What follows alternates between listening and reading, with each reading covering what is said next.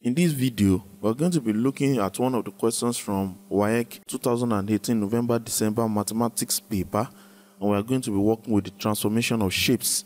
We want to see the anticlockwise rotation of a quadrilateral around the 90 degrees and then want to look at the transformation y minus x is equal to 0. Welcome to DaveTuts Academy where we are devoted to building academic excellence in students for their STEM subjects. If you are here to subscribe, click on the subscription icon, click on the notification icon, and if you find this video useful, share with your friends, share with your loved ones.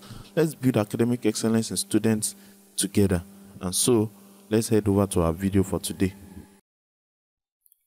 We had this question on the rotation of shapes, and we have been given the scale to use on both axes 2 centimeter to 2 units on our graph paper, and we are to rotate in anti-clockwise rotation of 90 degrees about the origin. Now, first and foremost, before we launch into this, how do we go about solving this type of question? If we were to use the Cartesian coordinate as a guideline to see how a rotation of 90 degrees anti-clockwise will look like, let's take our Cartesian coordinates with labels y, x, minus x, and minus y. Now, if we rotate it in an anticlockwise rotation of 90 degrees, 90 degrees, now this will amount to having something like this. If you rotate this, x will come up, the y will go to our left, minus x will come down, and minus y will go to the right. Now, that is the effect of our rotation. Now, what's to note in this type of rotation is that um, from what we just explained, x becomes y if you look at all the case scenarios, and then y becomes minus x. So if we use this as a rule of thumb, we can actually go about plotting all the um, points that were given in the question and rotating them appropriately. So for the case P that is defined by 3 comma 2 we are saying that x will become y so p1 will become x will become y. So x which is 3 will become y. So we have p1 will be minus 2 comma 3 because x is now y and y is now minus x. So for our q minus 1 comma 5 q1 under the anticlockwise rotation of 90 will become um, minus 5 comma minus 1 because x becomes y and y becomes minus x. Then r of 0 comma 8 will become r1. We have now we have um, 0 and minus 8 minus 8 comma 0.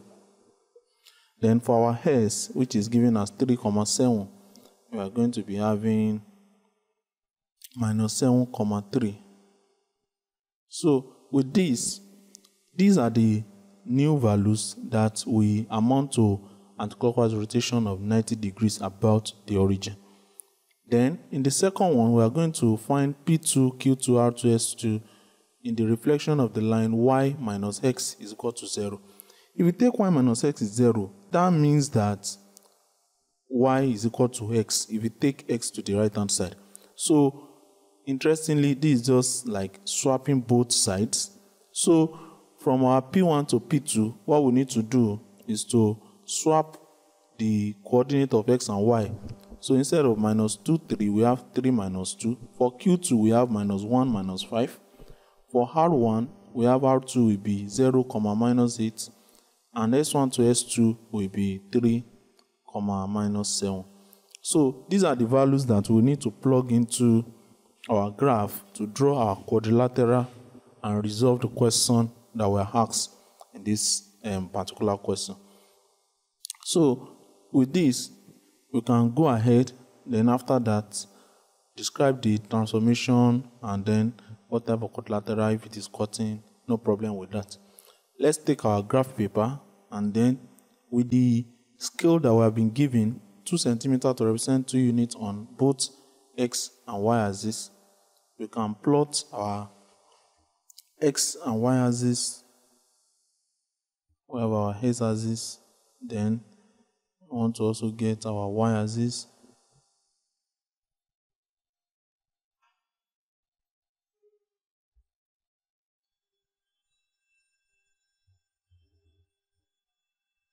So this is our x and our y axis, y and x minus, don't need to put all those. So we have the origin and 2 centimeter to represent 2 units will give us the calibration as is being shown.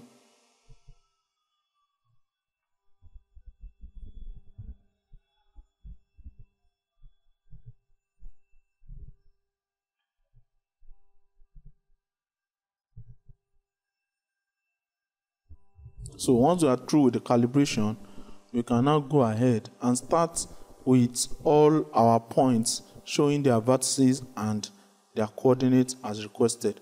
Now, in the first case, we want to um, show point P having its coordinate as 3, comma 2. So, P with 3, comma 2. And now, 3 on the x-axis will be between 2 and 4. And here we have 2. If we trace the two to one another, the point of intersection will determine point P. So this is the same um, rule of thumb that we're going to be applying for each of the points that we want to note. But I won't be noticing them from the x and y axis again. I will just plug in the value. So that's P. Q will now be minus 1 and 5. Okay. So the point of intersection is here, Q so we have this will be Q, Q which is minus 1 comma 5. Then our R, want to take R 0 and 8. X is 0, Y is 8. That's very straight and direct. R 0 comma 8. Then S 3 comma 7. S will be 3 is here And then 7 on the y axis, 7 between 6 and 8. Right. So, so we have S3, comma 7. So with this, if we join all the points together, we are going to have our quadrilateral, quadrilateral PQRS, and this is our quadrilateral as requested. So with that, we've been able to find the quadrilateral defined by PQRS, but then we can also go to P1, Q1, R1, and S1. So I want to use my red ink now. P1 is minus 2, comma 3. So minus 2 on the x-axis, 3 on the y-axis. So here minus 2 and 3. So this is the point of intersection. Can trace. But since I know it, I will just plug it in. Minus 2 comma 3. This is P1 as is defined by minus 2 comma 3. Then q1 is minus 5 comma minus 1 and here I have the point of intersection so minus 5 minus 1 q1 minus 1 minus 5 comma minus 1 then r1 minus 8 comma 0 minus 8 comma 0 and then finally s1 minus 7 comma 3 x is minus 7 y is 3 this is x1 minus 7 comma 3 so I can also draw my quadrilateral by that is defined by p1 q1 r1 and s1 all right. So with that, I've also defined the quadrilateral P1, Q1, R1, and S1. Then, um, continue with the problem, we are asked to define um, y minus x is 0, and we have gotten those values as P2, Q2, R2, and S2. So for P2, is 3 comma minus 2. So 3 comma minus 2. Q2 is minus 1 comma minus 5. So x is minus 1, y is minus 5. So this is here as Q2. 1 comma minus 5. Then R2 is 0 comma minus 8. R2 0 comma minus 8. And then S2 is R comma minus 7. S2 is 3 comma minus 7. 3 3 comma minus 7. And I can also join all the points